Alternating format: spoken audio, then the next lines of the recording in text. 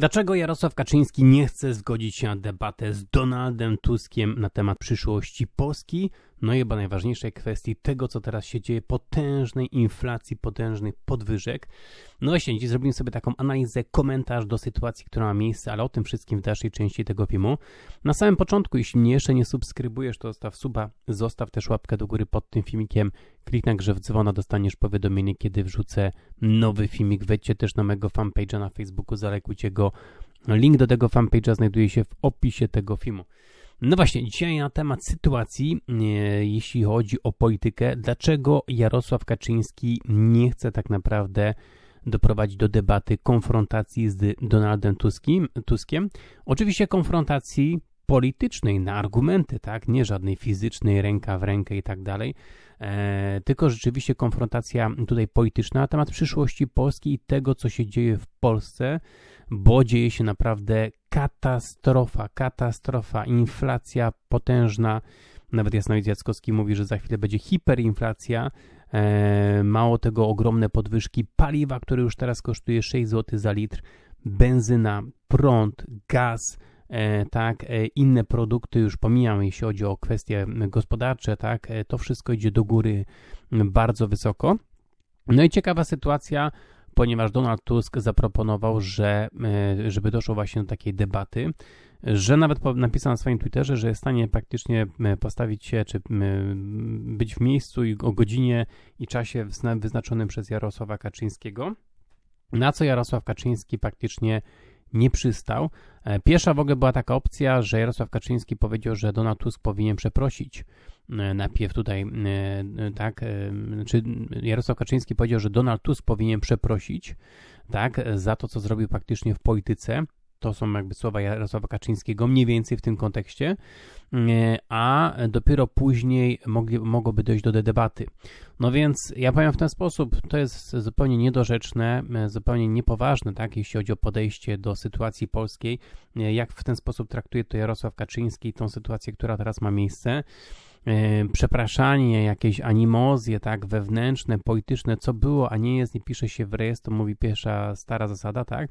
Kolejna kwestia jest taka, że Polska teraz znajduje się naprawdę na rozdrożu. Bardzo ważny czas dla Polski jest, e, można powiedzieć, była transformacja po 1989 roku. Teraz jest potężna transformacja związana z pandemią po pandemii, chociaż no, na dobrą sprawę nie ma po pandemii, bo jest ponad 4000 osób zakażonych e, każdego dnia teraz, więc pandemia, e, no czwarta fala jest w najlepszym, można powiedzieć.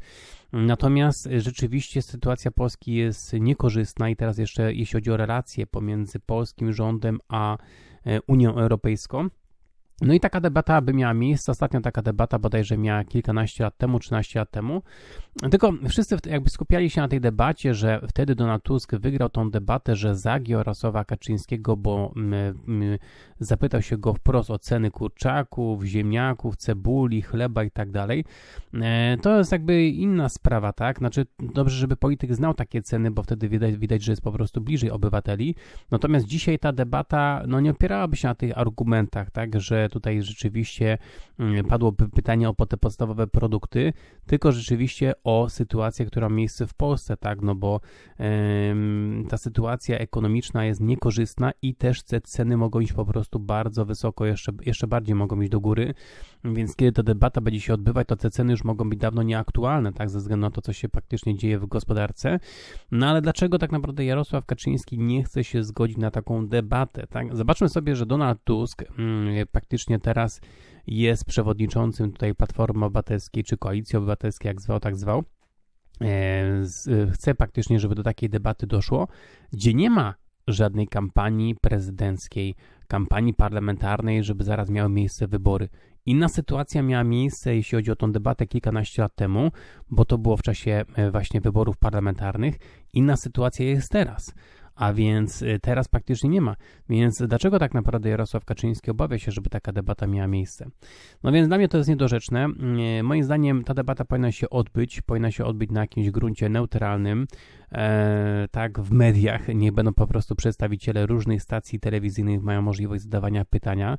Mm, nie mówię, że to musi być po prostu debata prowadzona przez jednego, jednego dziennikarza, bo zaraz będzie stwierdzenie, że taki dziennikarz może być stronniczy.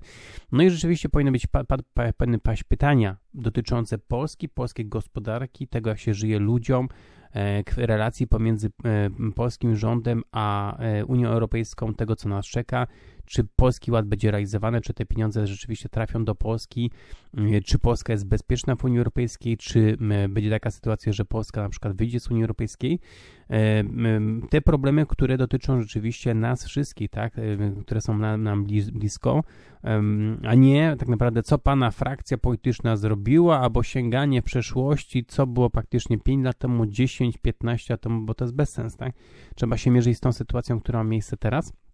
A teraz sytuacja rzeczywiście jest nieciekawa, tak? E, nieciekawa. Zwłaszcza, że zobaczmy sobie, na przykład Donald Tusk daje zielone światło. Mówi, niech Jarosław Kaczyński wyznaczy datę i miejsce spotkania, chce przystać na te warunki, które zaproponuje Jarosław Kaczyński, tak? Na przykład Jarosław Kaczyński mógłby zaproponować jakieś niekorzystne warunki, tak? E, jeśli chodzi o taką debatę. E, na, nawet nie ma, ja już nie mówię, nie ma chęci nawet ze strony właśnie Jarosława Kaczyńskiego.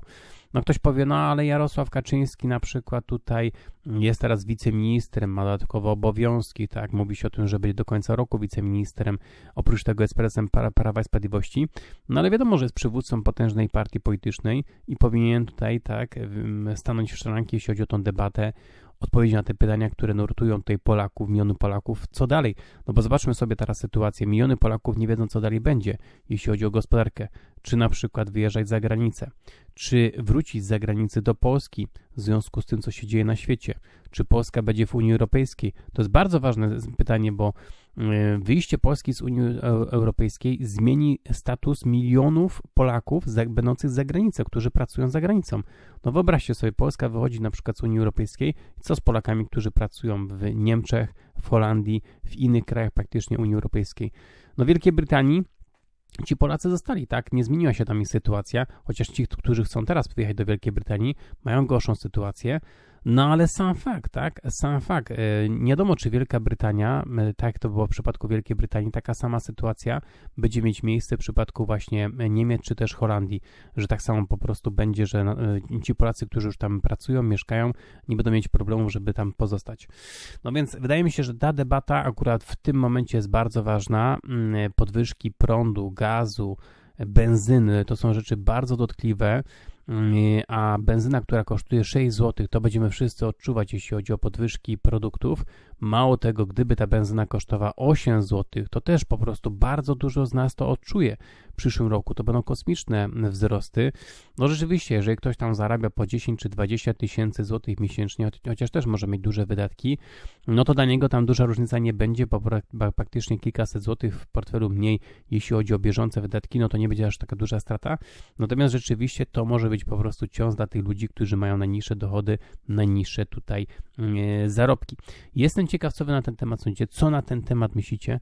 To wszystko dzisiaj. Dzięki za oglądanie, dzięki za słuchanie. Jeśli mnie jeszcze nie subskrybujesz, to zostaw suba, zostaw też łapkę do góry pod tym filmikiem. Kliknij grze w dzwona, dostaniesz powiadomienie, kiedy wrzucę nowy filmik. Pozdrawiam, trzymajcie się, cześć.